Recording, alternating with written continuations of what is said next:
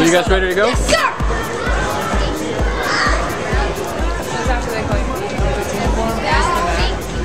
Going into the middle, you bow again.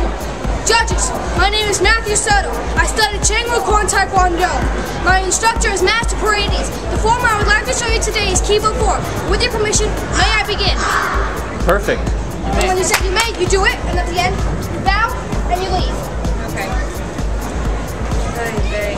Go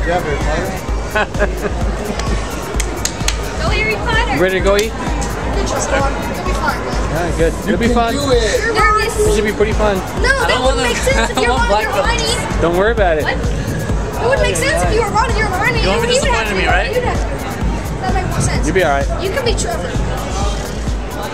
Hello, sir. How are you today? Doing fine, sir. How are you? Not too bad. Uh, what do you think of the tournament so far? Pretty good. Pretty packed. A lot of enthusiasm. The kids are real excited. Oh, good, good, good. Do you have any uh, any students competing today?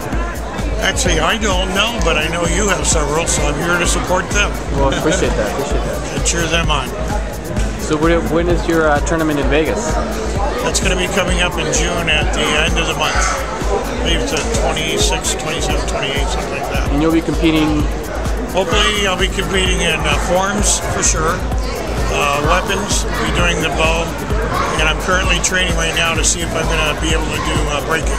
Breaking, right? I'd like to like to try that one last time.